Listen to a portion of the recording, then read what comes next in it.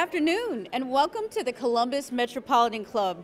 Today, we'll examine 100 years of black movies, from Gone with the Wind to Blaxploitation films to Black Panther, using the struggles and triumphs of these artists and films as a prism to explore black culture, civil rights, and racism in America. Please welcome today's speakers, Wil Haygood, author and journalist and superstar, Dave Filipi.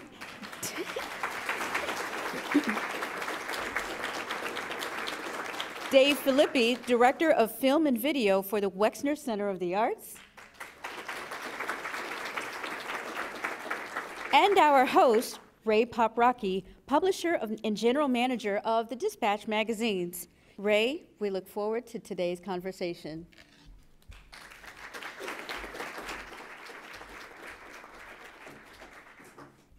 Hello, everyone. Great to be here. Let me get set up here for a moment. All right, Will, Dave, good to see you. So Will, uh, Wil Haygood and Columbus Monthly have had a, uh, a, relationship for quite a while, mostly him or us writing about him, his accomplishments, or printing an excerpt from one of his books, uh, Tigerland, for instance. And during that time, I got to know uh, Will a little bit. Um, but it all started, uh, of course, where things start in this city in some cases, in the office of Larry James. Larry invited uh, myself and Pat Lazinski, I don't know if Pat's here today from the library, and Will to have uh, a lunch discussion. I think The Butler was just starting to form as a movie. And so that was real exciting to, to get to know Will in that way. That relationship escalated about a year ago when Dave Ghose, the editor of Columbus Monthly, approached me with a, a big, bold idea. And Dave is here today. I'd like to acknowledge Dave right here at the dispatch table. He said, let's do something that would devote the entire issue of the magazine to one topic. It's something we'd never done before in the history of the magazine, which dates to 1975. And that topic became to be called The Raw Reality of Living While Black in Columbus.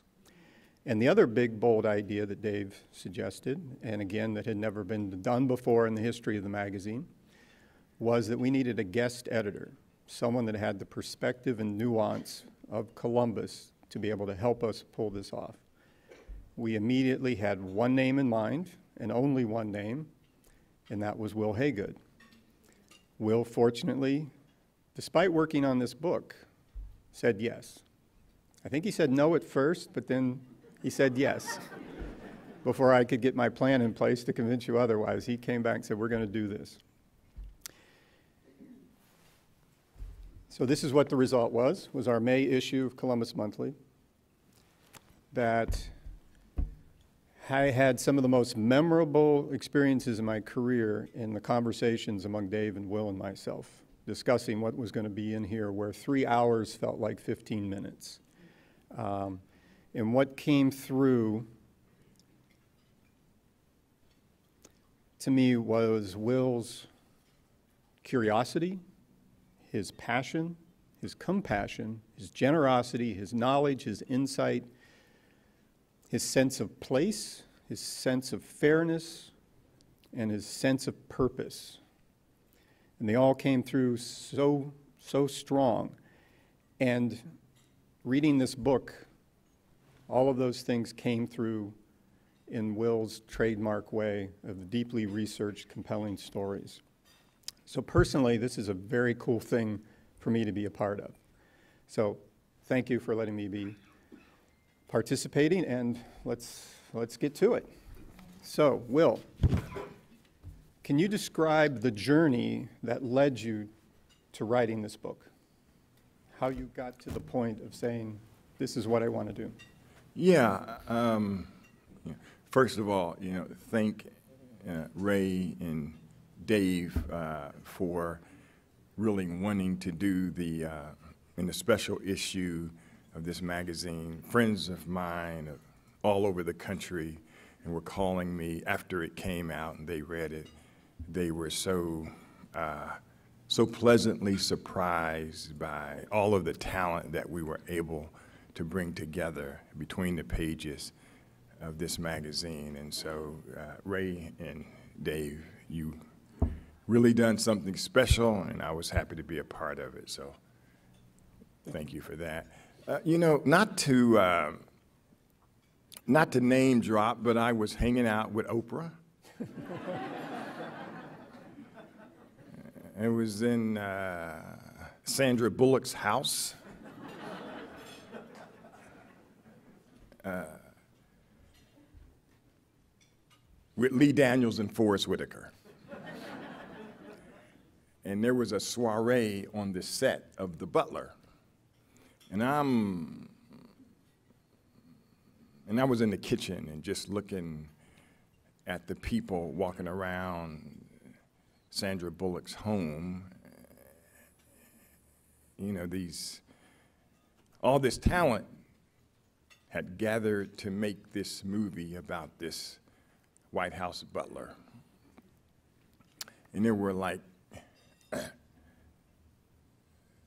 seven Oscar winners in the room, and I'm looking, and I'm really just, I really just uttered this to myself.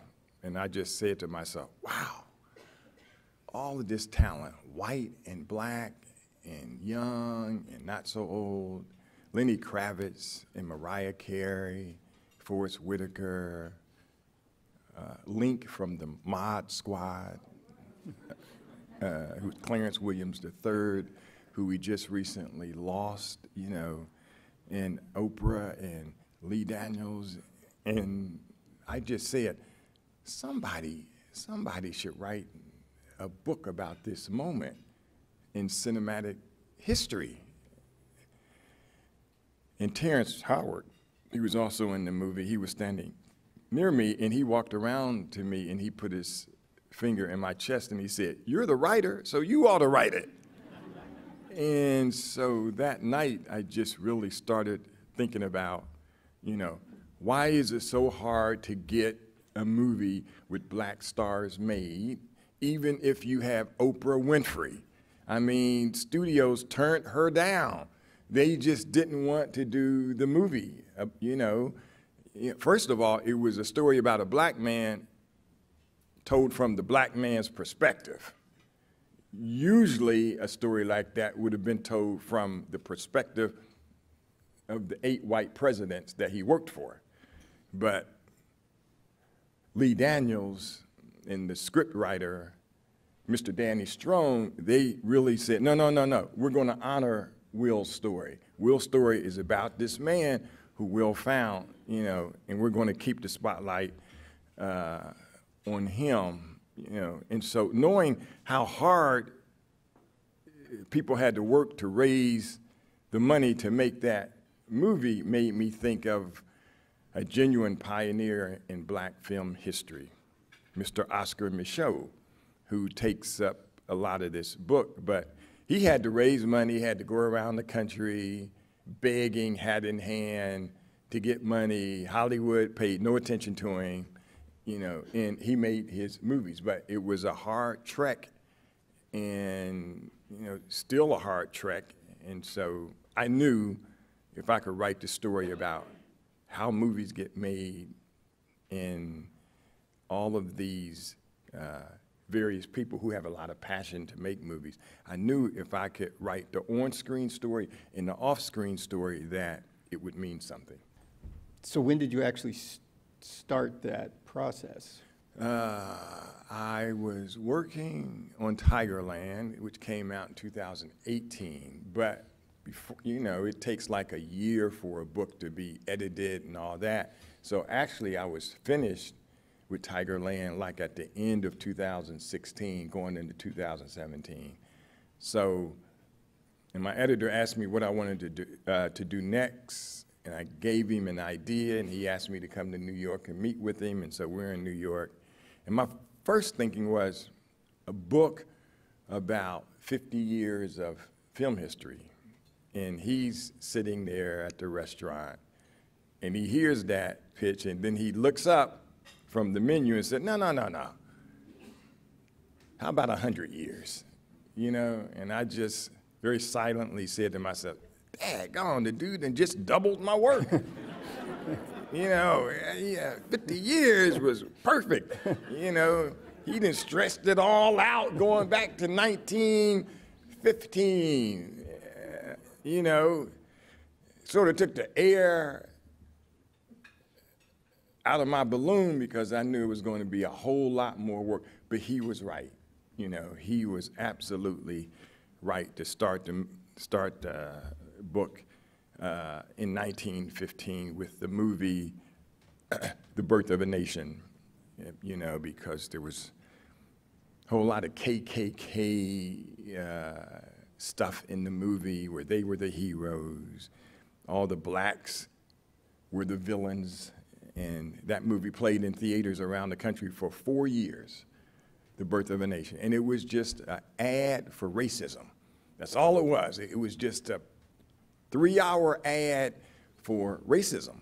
It was taught in schools. The book that the movie was based on was taught in schools, you know, and that lasted for four years. And that really was the first movie where blacks rose up in mass to picket at the theaters. And, you know, that was, you know, that was where I started the book. And then I'm in my home in Washington, D.C., and I'm working on the book, and then Charlottesville happened. Heather Heyer, murdered in Charlottesville, uh, Nazi march, and then there were Ku Klux Klan flags. And that literally was like, uh, you know, heartbroken. You know, here we are. You know, here's this book that I'm working on about, about rabid racist, insane people from 1915. And now, you know, here are more of those people of that ilk, you know, marching through Charlottesville, you know, like a hundred and two years later, you know, and in a way, I just knew right then, all right, this book is going to work. This book is going to work because these are things in this country that are still simmering.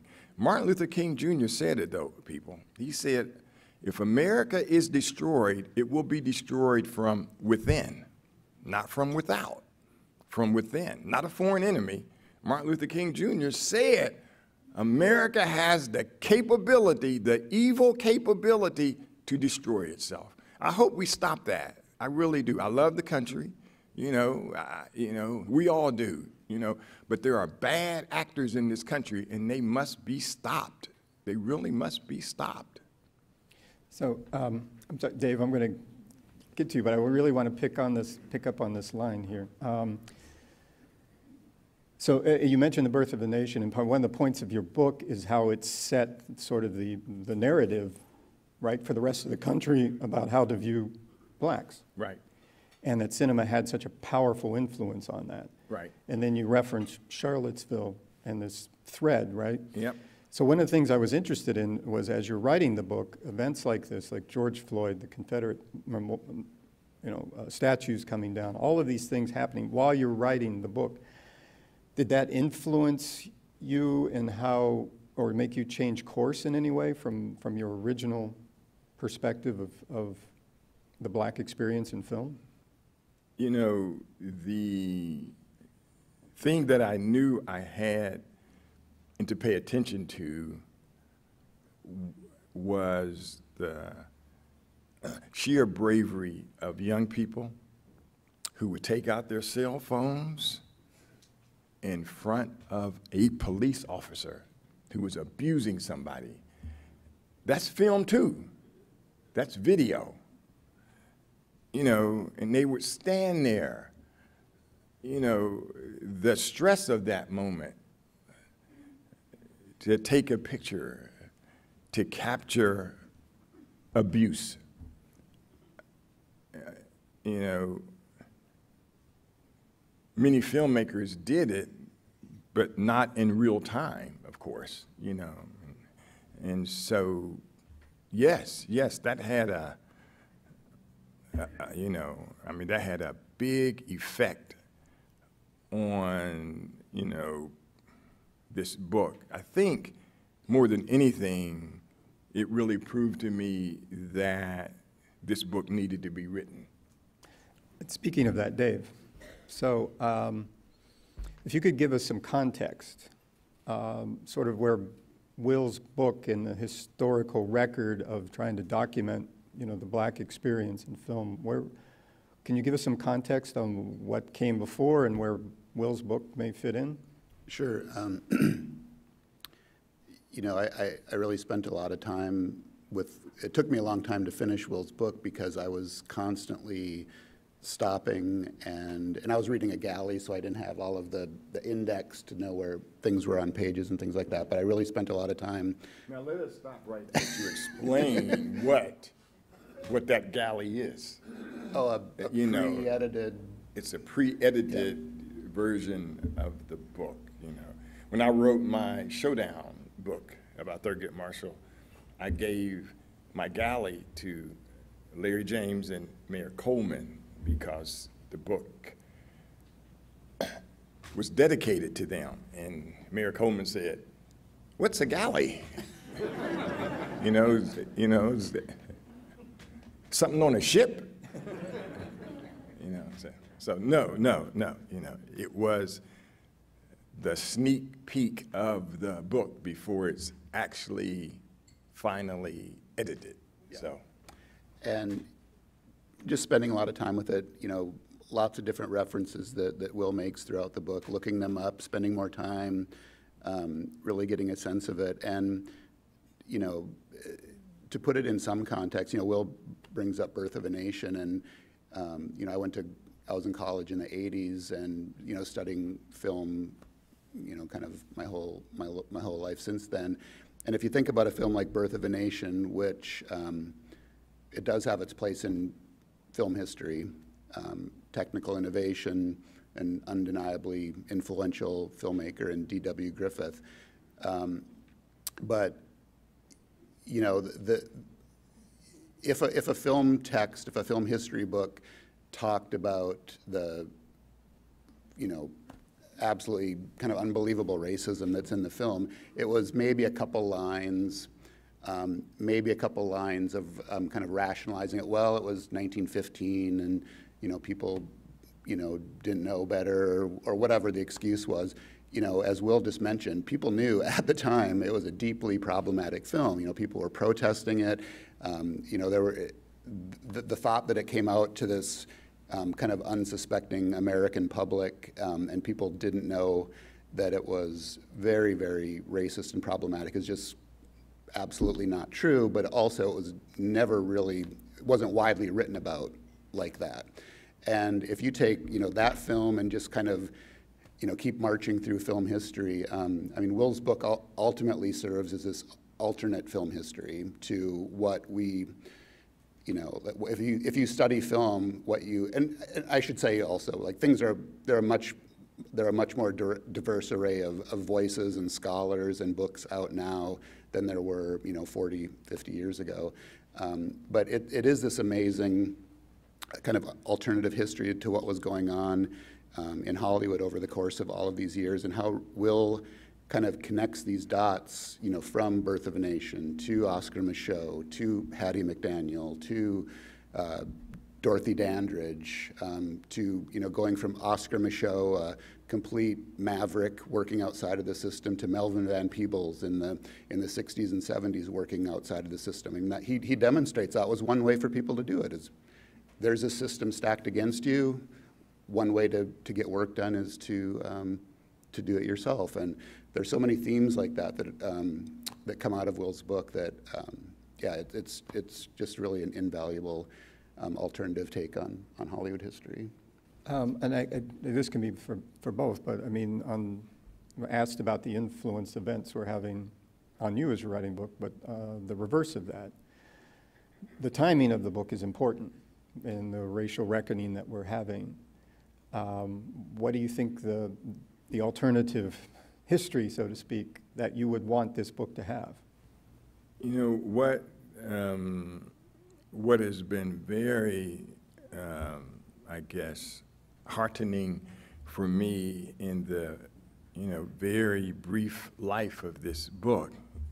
You know, it's only officially been out for uh, one day. It, the official publication day was yesterday. Uh, but um, I had, in advance, sent a copy to an actor uh, uh, whose name I won't mention, but he told me that he thinks that this book is going to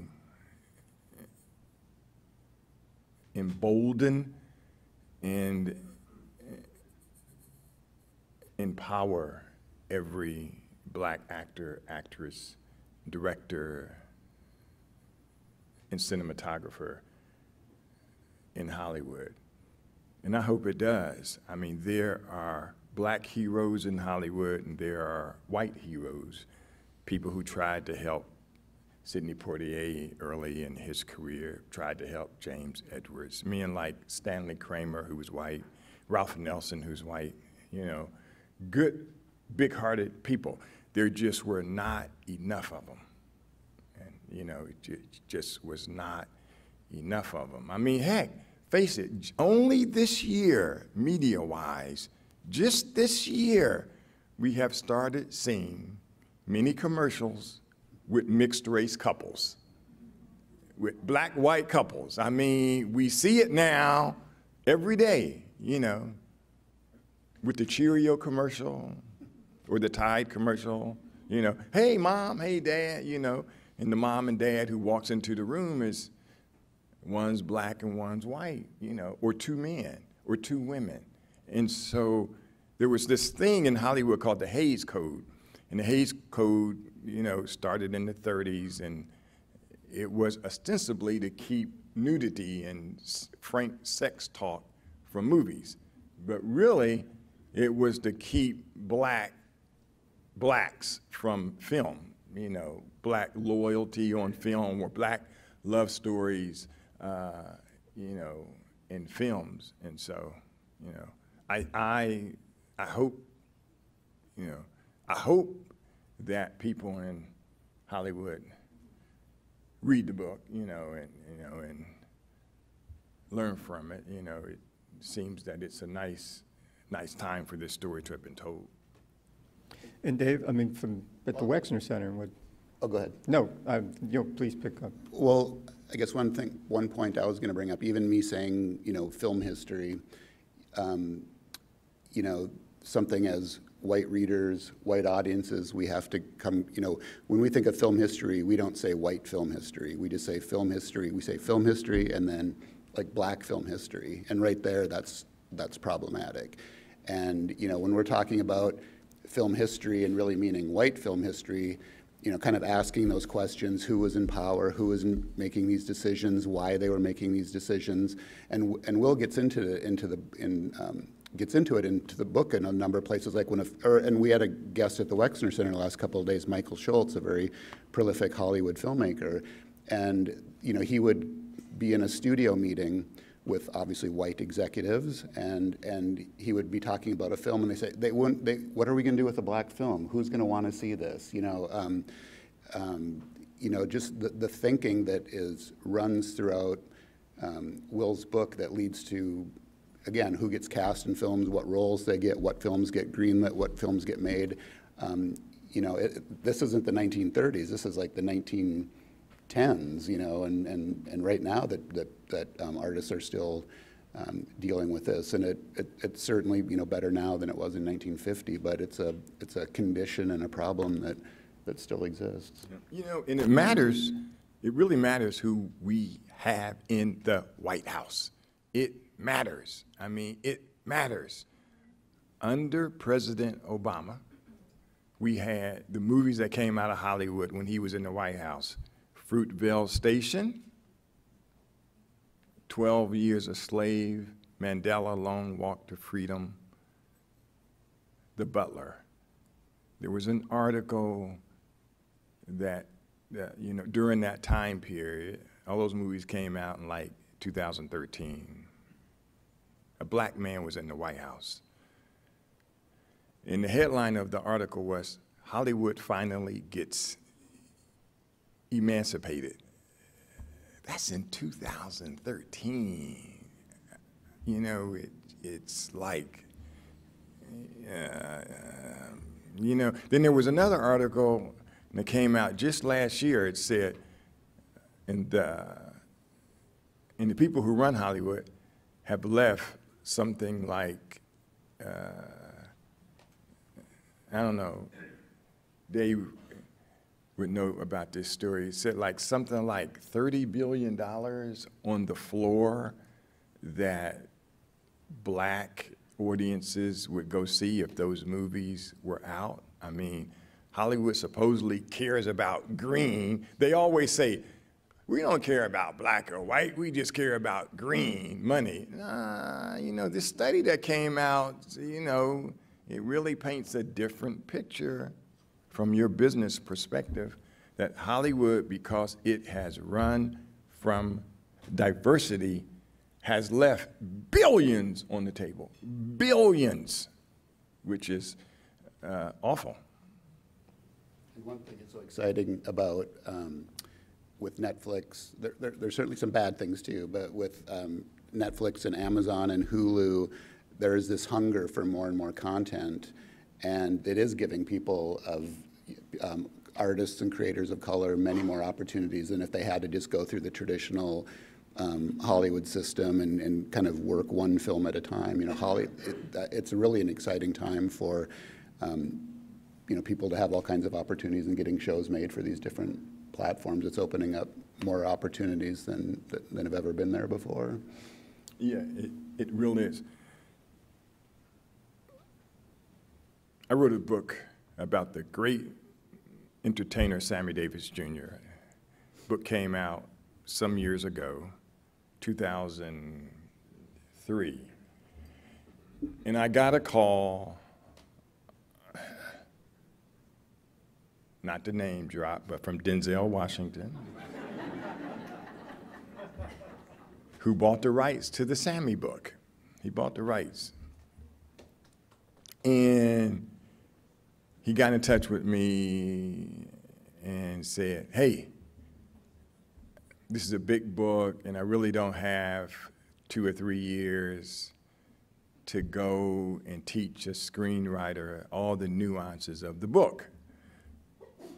So I want you to write the screenplay. I said, hey, I'm game. You know, yeah, you know, let's, you know, let's get busy. So we, you know, he would be in the city someplace, Newark, New Jersey one time, LA one time, you know, Washington, D.C.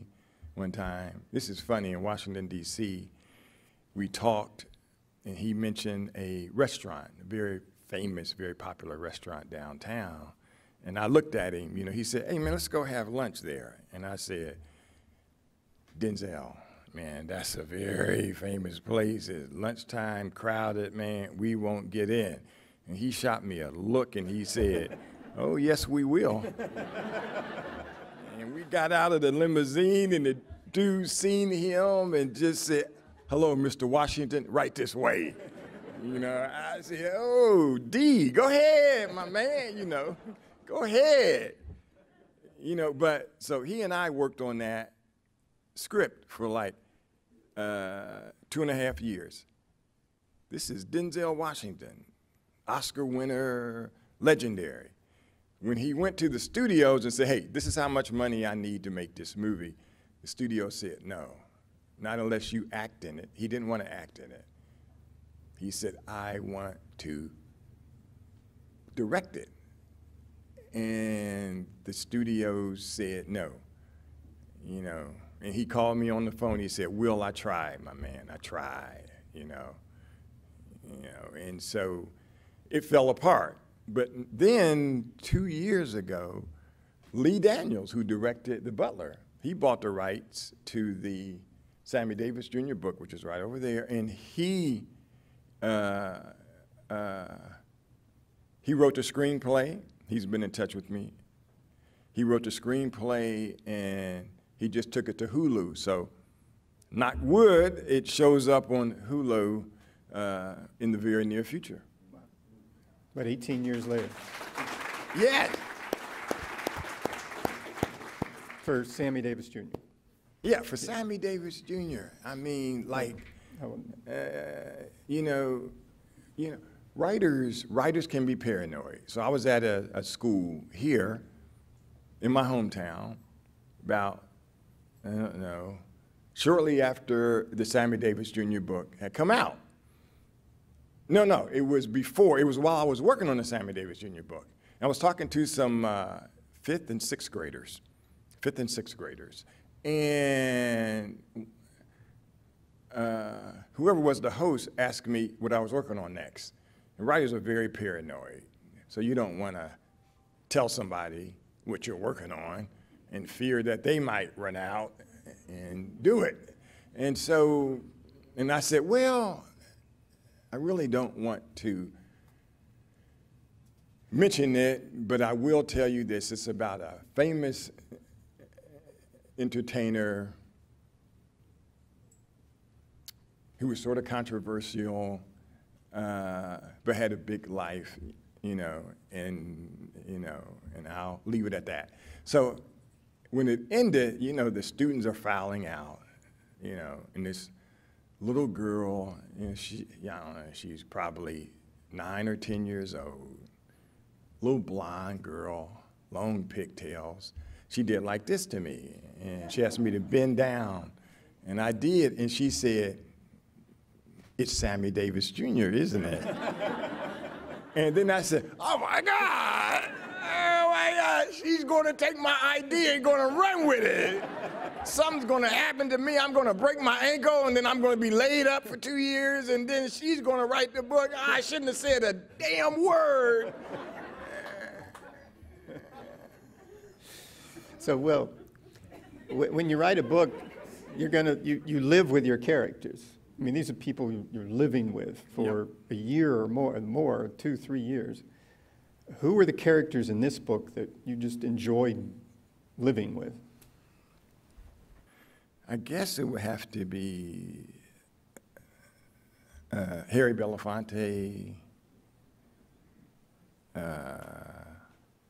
Harry Belafonte, James Baldwin, James Baldwin. You know, because James Baldwin was a film critic. And whenever these movies would come out in the 50s or the 60s, Baldwin would find some magazine to write a so-called review. But in the review, he would veer off and he would say, none of the black people who I know act like that.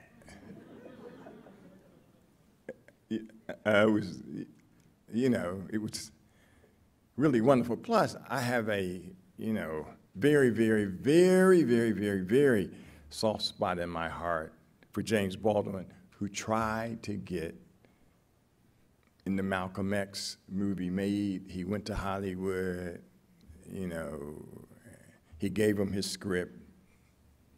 And I tell this story in the book. And Hollywood kept scratching out lines from his script. This is James Baldwin now, you know, who knew Malcolm X. He said, hey, I can bring a lot to the script.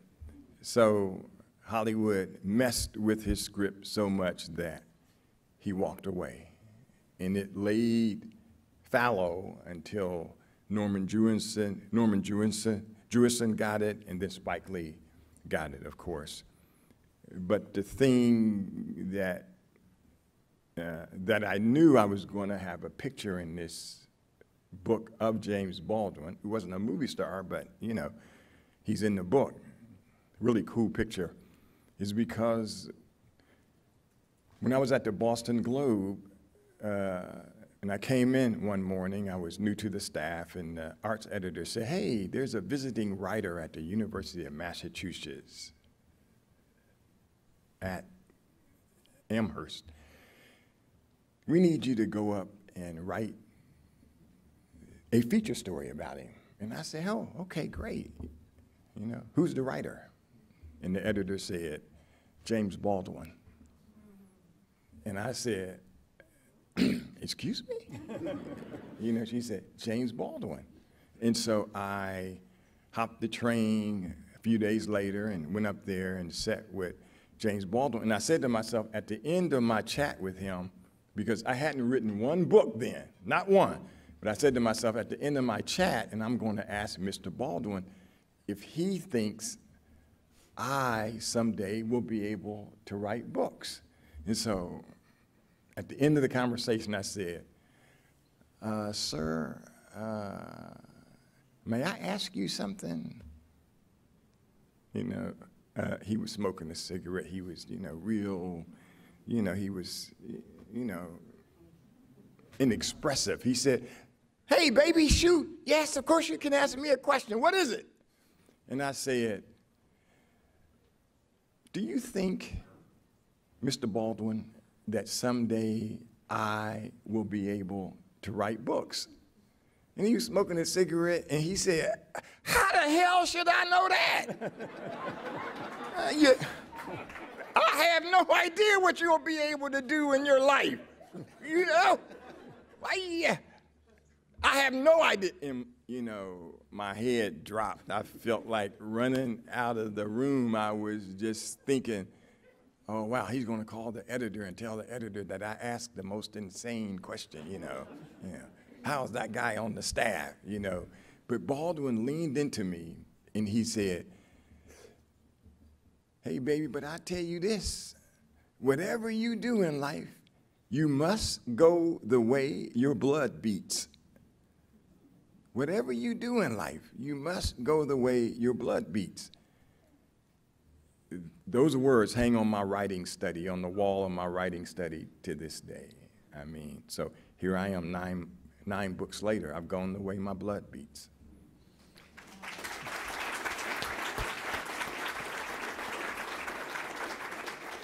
All right. So we're going to be moving to our questions from live stream and in-person um, audience in just a few minutes. If you have a question, please make your way to the microphone now. Uh, Before we take uh, audience questions, I'll have one final question to pick up on where your blood beats. I'm going to ask you to uh, tell an anecdote that I think will illustrate the how difficult it is to do a book like this. The depth of research um, that's a part of it. This is not you writing sort of essays about your personal feelings about books. These are deeply researched stories. And the process sometimes of how that information comes to you. So I heard you share this earlier this week about the Sammy Davis Jr. and the California hospital if you could relay that anecdote that just that if I may boil it down to I think close to what you said that if you go luck will follow. Yep, yep, yep. Sammy Davis Jr. was in a car crash uh, in 1955. Little Wil Haygood was someplace in a baby crib howling in this city because I was one year old. So 1955, Sammy Davis Jr. was in a car crash in San Bernardino, California. And I had just started working on the book. So I flew out to LA to live out there for like seven months. You know, it was a whole lot of uh, folks who knew Sammy still living out there. Actually, it was about a whole year that I lived in Los Angeles. Uh, but anyway, uh, I got in a car one day and drove to San Bernardino because I just wanted to see how the hospital looked, how the road looked that he was taken down and to go to the hospital. So I walk into the hospital. There's like three nurses at the nurses station, and I tell them who I am. Wil Haygood, I'm a writer. I'm working on a book about and the entertainer Sammy Davis Jr., who was in a crash three miles down the road and was brought here uh, that morning. And I just wanted to see the hospital and how it looks. And as I was leaving, uh, walking out the door, I just turned around and I just said, you know, it's such a shame that all of those people from 1955 are gone. I mean, and then one of the nurses looked up and said, ah, no, that's not true. Nurse Henderson is still around, and she was, she was on duty that night. And I said, excuse me? She said, Nurse Henderson, she lives down the road. Here, let me call her for you. So she calls Nurse Henderson. And Nurse Henderson says to this nurse to put me on the phone. I get on the phone and she says, In a way, I've been waiting for this call all my life. What you do is go out of the driveway and make a left and go three miles, and you'll see Red Bud Road. Turn right, I'm the first house on the left. So I run to my car, get in the car, and drive to her house. And I'm sitting there with the nurse, and she's talking to me about Sammy Davis Jr., the look on his face, the scars on his face, all the questions he was asking. I was writing it down. She's telling me, she said, it was such intricate surgery, eye surgery. And we had one of the best eye surgeons. We were lucky in this state. In Dr. Fred Hall. And he was just wonderful. He explained it to Sammy. Then he did the surgery. It took about three hours. He was so great. And I said, uh, my goodness, wow, I'm so happy that I found you. This Dr. Fred Hall, or any of his kids, his children around? And she said, Why would you want to talk to them? He lives four miles down the road.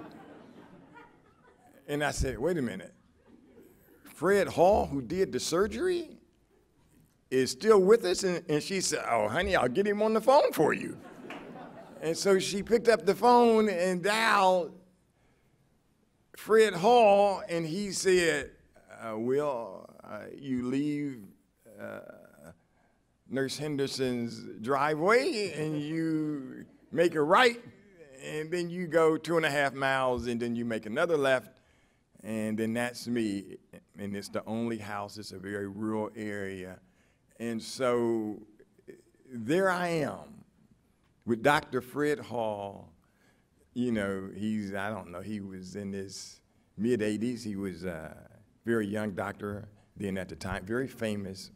Anyway, and I'm talking to him, and I said, Doctor, even all this that you have told me, it's going to be sort of hard for me because I'm not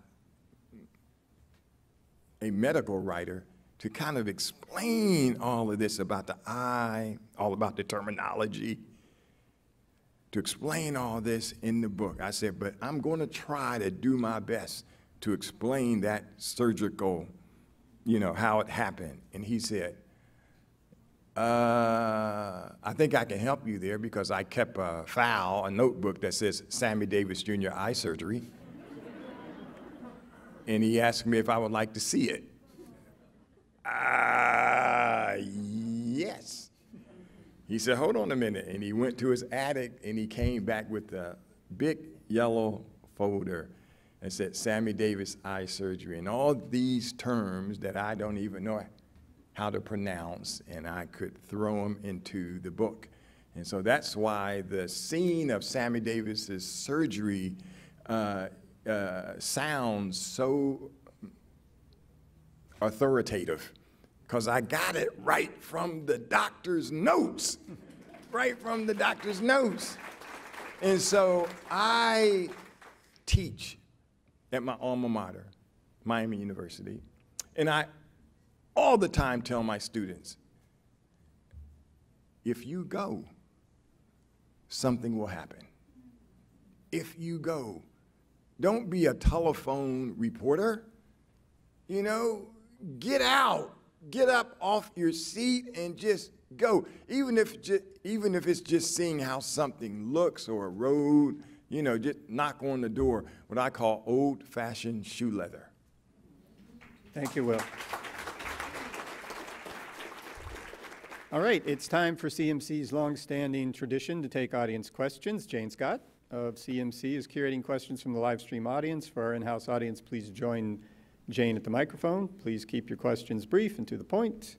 Jane, what is our first question? So we have a couple of questions, but any of you in the room that would like to ask questions, we'll go back and forth with some live stream and folks here. And I see we have the mayor waiting to ask a question too.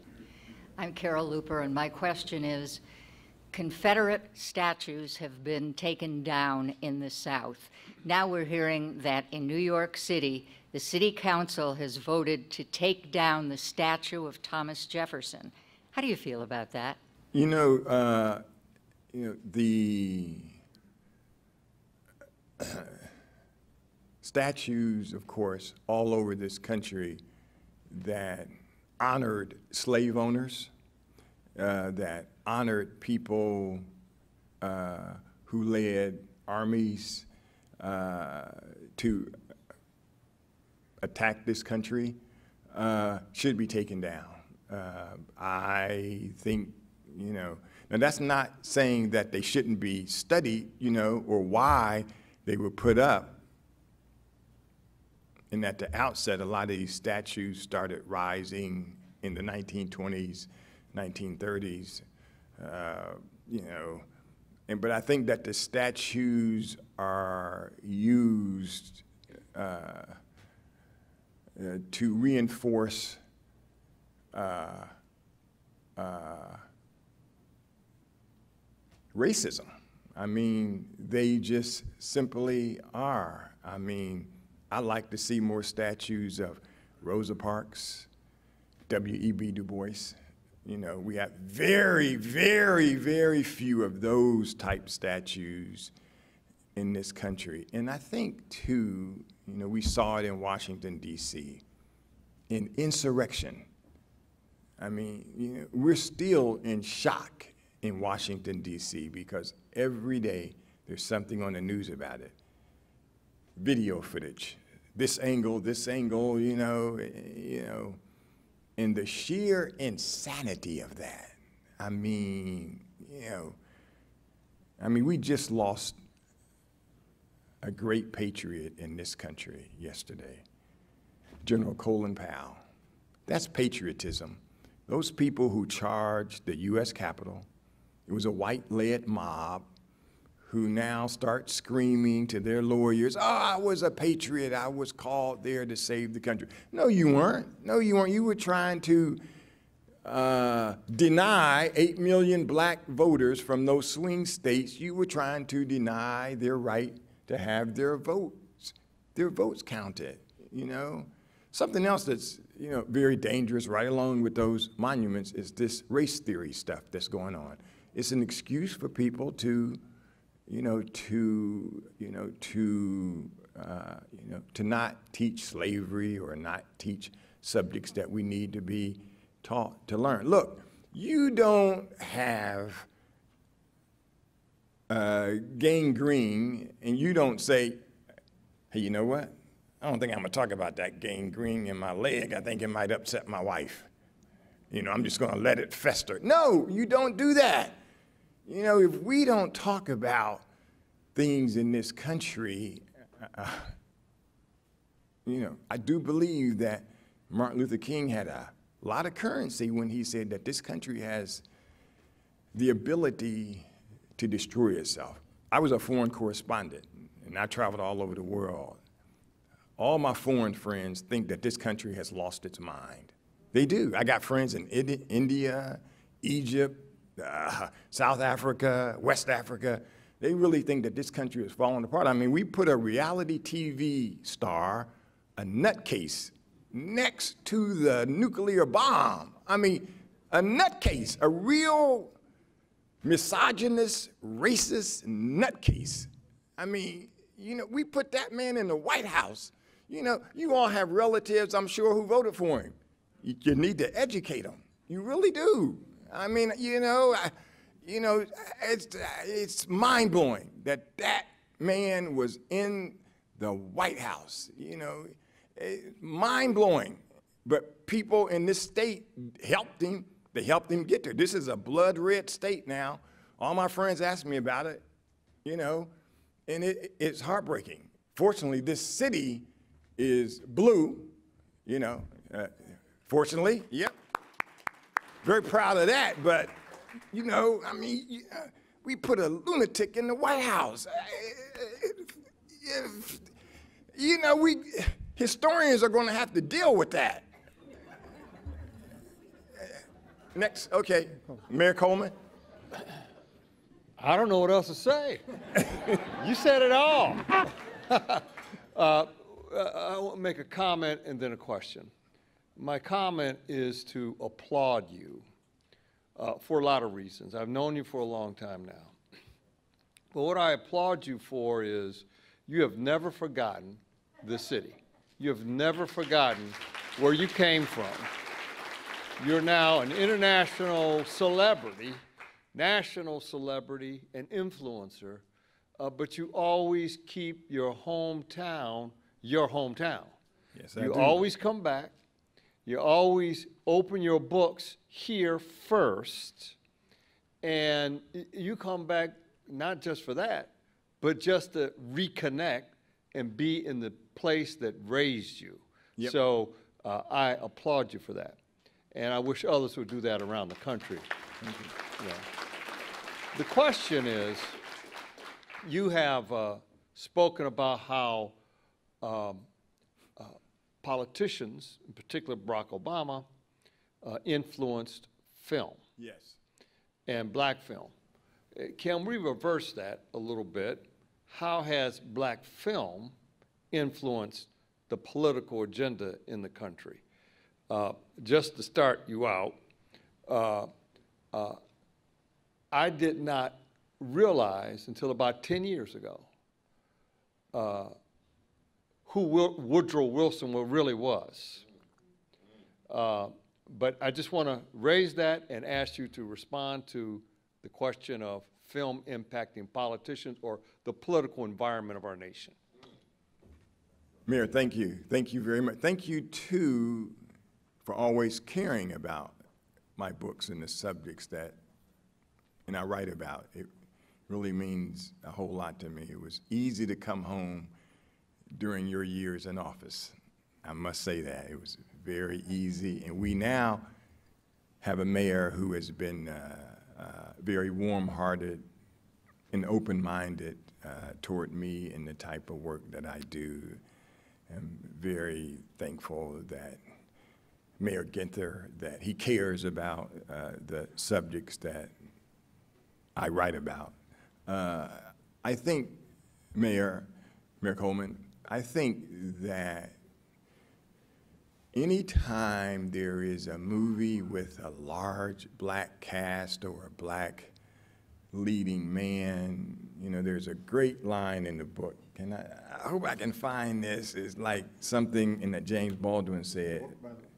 You know, you know, it's never just a movie. It's always like in the person who is black in these movies happens to be teaching because whites judged blacks how we you know how we are or not are. So many whites judge blacks by the blacks that they see in movies you know? And so uh, there's a great line here but from James Baldwin uh, that it, that says all of that, Mayor. If I can find it real quick, okay, okay. Well, I I, I, I just can't find it. But you know what he said, and I'll paraphrase it. He said, when the black actor, black actress is on screen, they often sneak a little authenticity into their performances.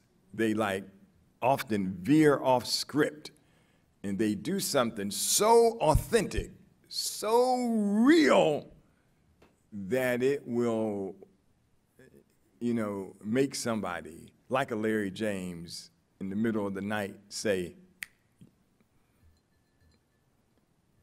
that was a bit of subterfuge that that black actor was able to do that because they were dealing with a white screenwriter, white director, white producer, and they wanted to put some of them selves in the movie, excuse me, and they would do that. I mean, you know, something else finally. How do I get to write books about Sammy Davis Jr.? And because there wasn't a major biography about Sammy Davis Jr. when I started. Sugar Ray Robinson wasn't a major biography about Sugar Ray Robinson when I started. Thurgood Marshall's Senate confirmation hearings wasn't a book about Thurgood Marshall's hearings when I started. East High School, two state championships, a remarkable story, but nobody had ever written about it. This, 100 years, nobody had ever written this story. I'm fortunate that my editor, who is white, is one of the most woke people in this country. And the wonderful Peter Gethers, he flew here. He's been here in town for the past two days. Loved the city, by the way. Loved the restaurant. He and I went out to Lindey's. You know, he had some lamb chops. He loved it. Um, you know, and so, you know, I'm fortunate, you know, to be with a woke editor, you know, who understands the type of stories that I want to write because these stories haven't been written. You know, I kind of feel like I'm just trying to catch up. You know, the scales aren't balanced literature wise. The scales aren't balanced, you know, and I'm just trying to tell stories that I think need to be told. Wish we had more time, I really do. But we'll turn it back to Tony Bell for concluding remarks.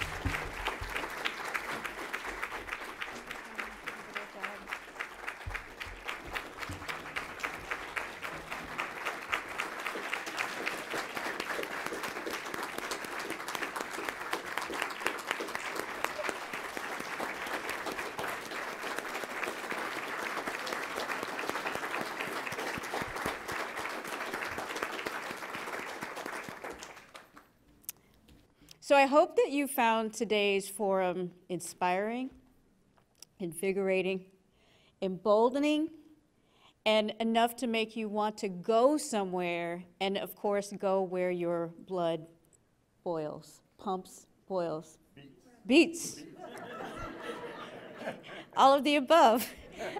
Um, so please join us next Wednesday for when, uh, next Wednesday, as CMC presents Who Represents Who? Redistrict- Redistricting and Gerrymandering in Ohio with Kyle Kondik and a panel of experts.